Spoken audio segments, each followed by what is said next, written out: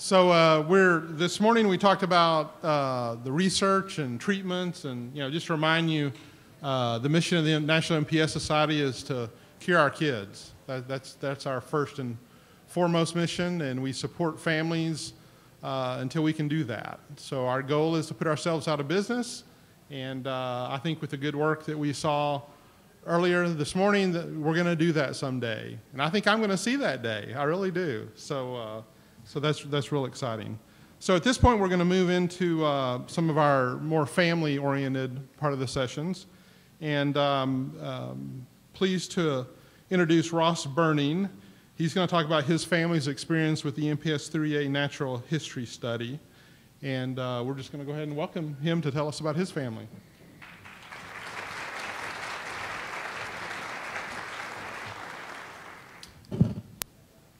Good morning. My name's Ross. Um, I was asked uh, prior to the conference if we could come and share our experience being part of the natural history study. And uh, you know, we got an email, and, and that night I got home, and my wife's like, "Did you get the email? Uh, they asked us to be part of that. We're not going to do it, right?" Because she's very nervous about it. And I'm like, "Well, um, I may have already responded that we would do it." So, so that's why I'm here, and uh, she's in the audience. So I want to start off with just a little bit about uh, who we are and how we got to be at this point. This is our family. It's our son Colin. He's uh, five years old, um, just about six actually at this point. And um, he has MPS 3A.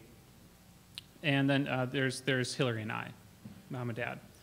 Colin's story began relatively early. Um, we noticed he had a large liver at about 18 months. And so we, that took us down a path of seeing several different specialists and um, we ended up actually getting a false diagnosis based upon a, a, liver biopsy that he had a glycogen storage disorder. So in some ways, we were a little bit relieved because we got out of genetics with glycogen storage disorder, and he seemed to have a mild form of it. So we said, you know, hey, you know, it could have been worse.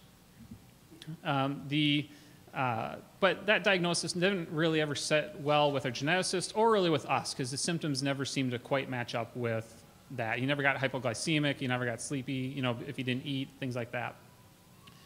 And he had some tests that were showing GAGs in his urine, and so we did, you know, repeat some of those tests and um, eventually did the skin biopsy that was definitive and, and gave us the proper diagnosis. So as, as many of you are aware, that's, you know, how devastating that can be, and, you know, after that first few days, we kind of turned to say, well, what can we do about this? What, what are, you know, is there, you know, our geneticists will help us say there is no treatment, but you know, we immediately want to say, well, you know, there's no treatment now, but is there something in the works? Is there something that maybe we could call in a part of in terms of a, a treatment clinical trial? And of course, there, there wasn't anything at that time. I think it was just a, probably a little bit after the, the uh, bone marrow transplant trials had, had been uh, closed. Uh, but we did see that there was a natural history study that was available um, that was enrolling children actually older than Colin. Colin was only uh, two and a half the, by the time of our first visit. So he was under two at the point of diagnosis. And we um, uh, looked at the study, and the study was um, a multi day affair with developmental testing um, on one day and um, some different other behavioral type tests. Uh, they were going to test them for autism spectrum, that type of thing. And then it was a day of, of uh, more clinical testing, so a, a very detailed head MRI, uh, lumbar puncture to, to, get some cerebral final, spinal fluid, and um, they did an ABR, and they also would put ear tubes in if, if necessary.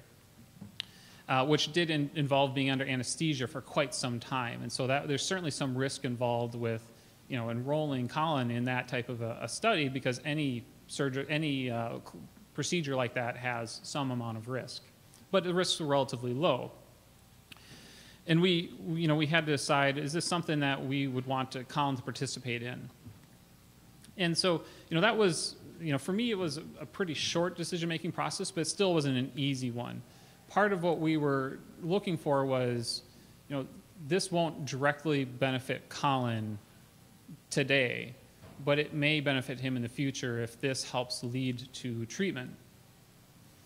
And we also, you know, thought that it's not a bad thing to get to know the researchers that might be doing a clinical trial in the future, and if nothing else, establish that we could be, you know, reliable patients and come to all the visits and stuff, which you know, talking with other clinical trials in other areas, other diseases, is, can be actually be very challenging. So we decided that we would participate. Um, it, it, actually, uh, we actually had to talk with the researcher, Dr. Whitley, to, um, about his age, because at that time the minimum age was three years old, and we, Colin was still only two. So we got that, that um, they, they were in the process of changing that so they could get enough, enough uh, participants.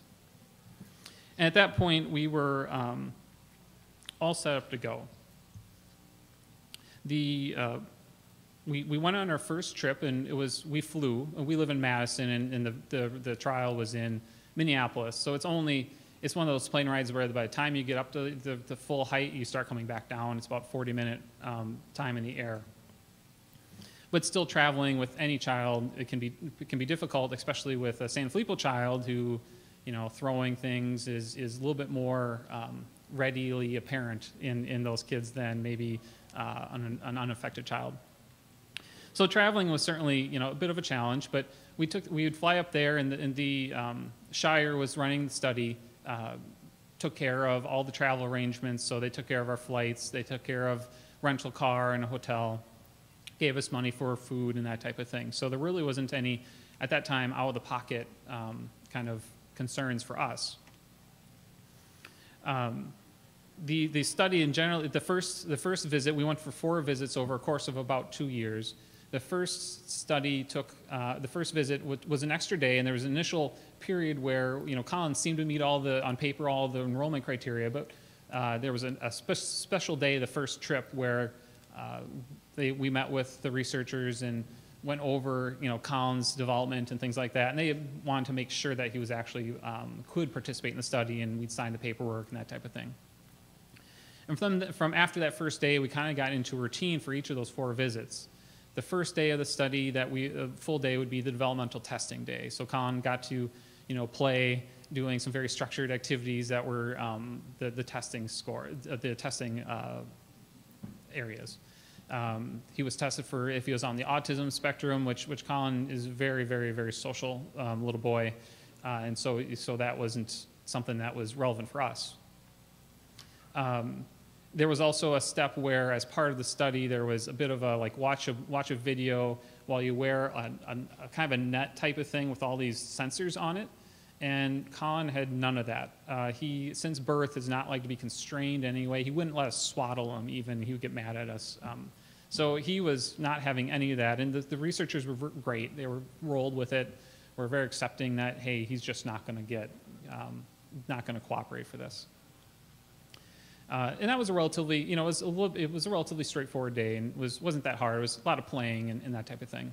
The second day um, of, the, of the trial for each visit was the clinical day. And so that meant getting up at 4 or 5 a.m. to get into the hospital to go through the pre-surgical preparation, which for Colin was pretty simple since he's not actually, it was more some tests that they were running, but they had to put him under anesthesia. So it was mainly just keeping entertained in the hospital until it was time for him to go back.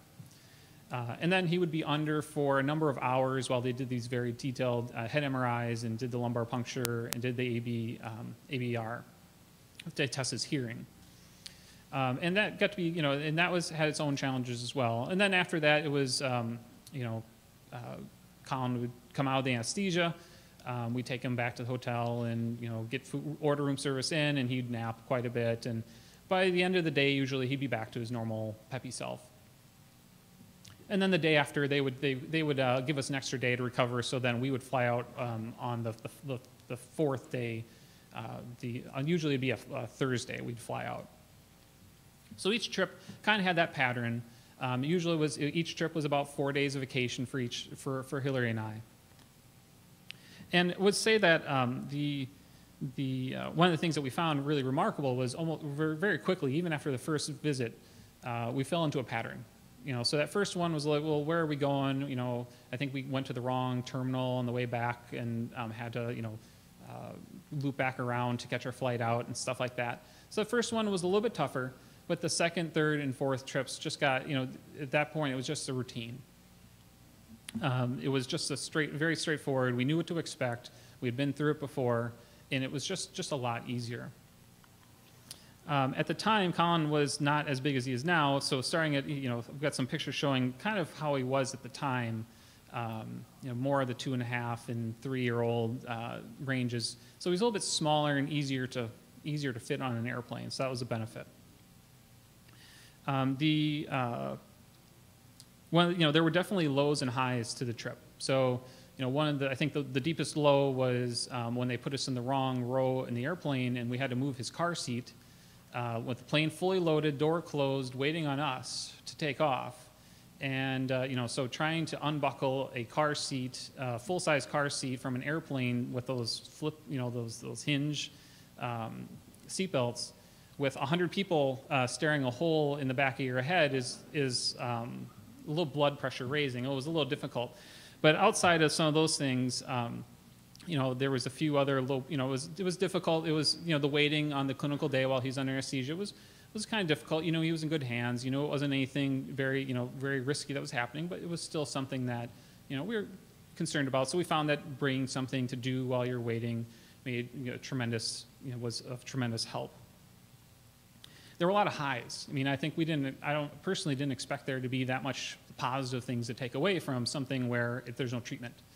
Um, you know, first of all, Colin had fun. You know, we found ways, there was lots of time to, for example, uh, our routine was we would fly in on Monday, we'd go to Mall of America. He would ride the escalators as much as he wanted. Um, and when he got a little bit older and, and wasn't scared of some of the rides, he would ride the rides as much as he wanted, and maybe we'd get him a, a present or something like that. Um, you know, similar thing. Sometimes we go back to Mall of America, or we may go to the zoo or something on the second day after the, the testing was done, because we might be done at three o'clock, and um, and so we would go and make the most of it. Visit friends that we had in town, and things like that that had children he could play with. And then our routine for the last day was um, before you know we would fly out maybe in the afternoon, and we would take Colin to the Children's Museum, and he just had a, has a ball. We have lots of videos of him just having complete you know over the top good time with all the different things that he could play with there. So we feel like Colin, to Colin, it was, yeah, some difficulty, and but a lot of it, I don't think he realized that this was something that you know he potentially could have, you know, um, he shouldn't enjoy, right? A lot of it was like, let's play with the researchers now. Let's, you know, so really the clinical day is probably the hardest on him, but he was asleep for most of it, so that also uh, made it a lot more easy for as parents to accept.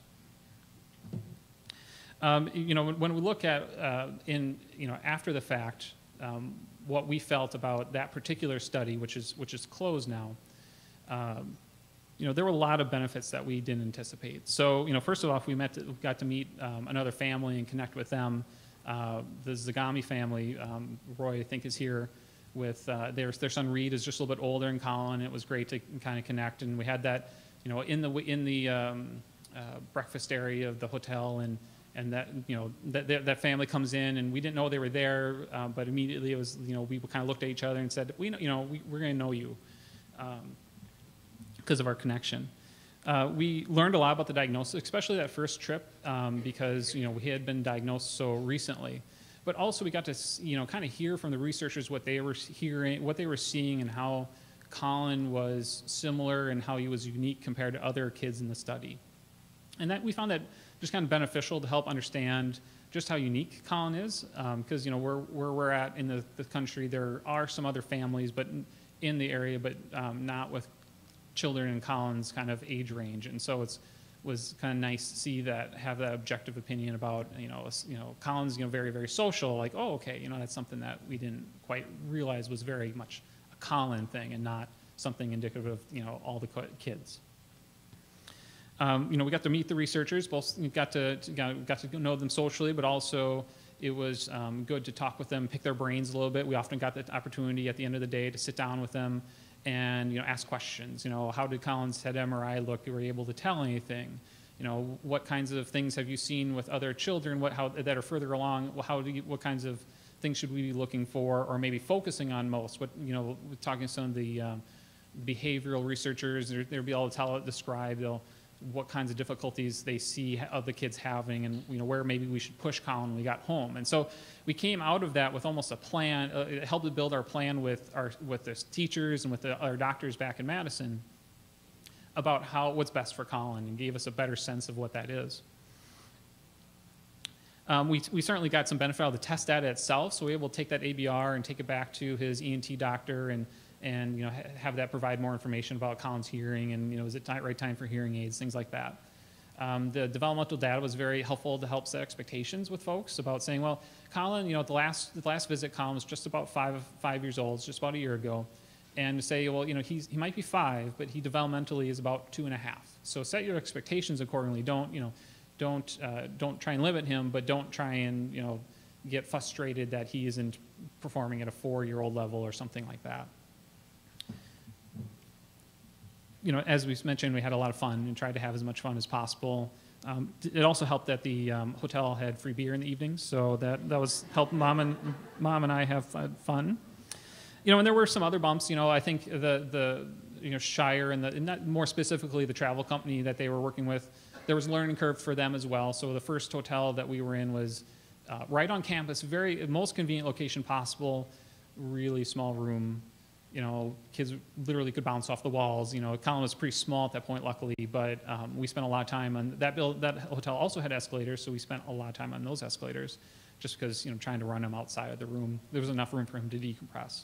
On further visits, we had a more of a residence type hotel, separate bedrooms, separate, you know, actually had a kitchen, it had a lot, it was a lot more of a Sanfilippo compatible hotel room. So that, you know, so there, we saw, definitely saw kind of, there's a learning curve for everyone um, there too. So in the end, I think we're, you know, we're really glad that we did it. I mean, I think we would have, you know, we made the right decision, would do, make that decision again. Um, you know, I'm partly is we did something. You know, to, you know, there's one of the frustrating things is there's so little we can do to, you know, um, in the long term to help you know, our kids, and so we have to focus on what we can do in terms of you know fundraising and and and uh, raising awareness and things like that, but also, you know, in terms of helping the scientific process along. Um, you know, I think it also, you know, our kids have have legacies in different ways, you know, and and part of a big part of them, their legacy is the impact they have on other people that they meet through as they go through their life. But this was an opportunity for to, for Colin's legacy to be more than that, to have it be, um, you know, if he has to be an un, one of the kids that has to go untreated for some amount of time, to be one of the last. And we thought that was a big um, potential benefit. So, you know, in, in retrospect, you know, we're glad we did it. We, you know, and um, we have no qualms, no concerns about recommending other folks do it. But it is a very personal decision in terms of where you're at with your family and, and those types of things. But for us, it was it was a definite um, the right thing to do. Thank you.